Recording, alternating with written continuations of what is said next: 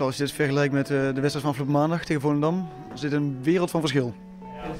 Inderdaad, ja, helemaal met je eens. Is dit ja, misschien heel zwart-wit zeg maar, eh, de beste en de slechtste wedstrijd in één week?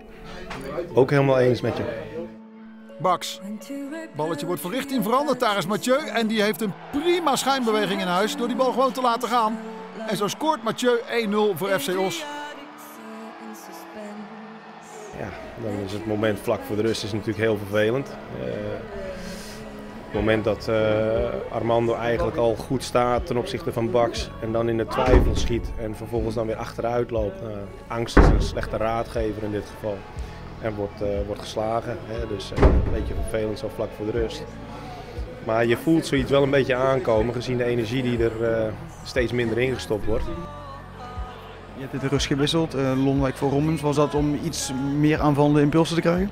Nou ja, dat sowieso. Uh, ik vond dat uh, alle drie de middenvelders heel matig speelden in balbezit.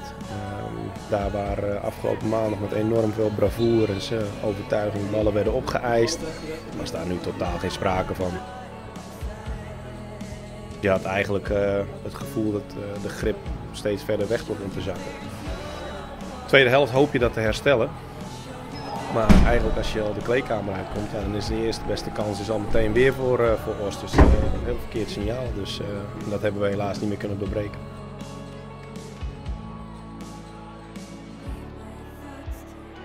Bal slecht weggewerkt. Baks.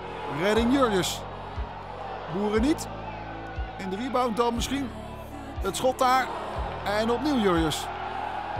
Wat kun je dan nog doen vanaf de zijlijn? Nou ja, goed. Uh, niet veel. Je probeert natuurlijk daarin wel te beïnvloeden. Maar wat ik al zeg, de energie vloeide weg. En, en, waarom dat het geval is, ja, dat ga ik morgen ook eens rustig bespreken met die jongens. Maar het kan allemaal tegen jong PSV. Dat heel matig speelt. Opnieuw Mathieu. Boeren dan in de rebound. Ja hoor. Daar is dan in de 83ste minuut de verlossende 2-0 voor FC Os. Ik ga ervan uit dat we maandag zeker weer beter voor de dag zullen komen.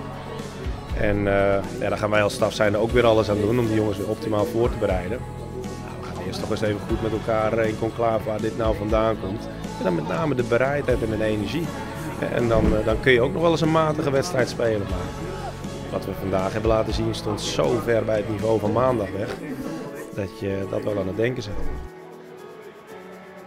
FC Os verslaat opnieuw jong PSV. Het is dik verdiend. En Os houdt ook voor de tweede keer op rij thuis de nul. Dat is ook heel wat waard. Een week van uiterste zullen we dan wel zeggen. Helemaal met je eens, ja.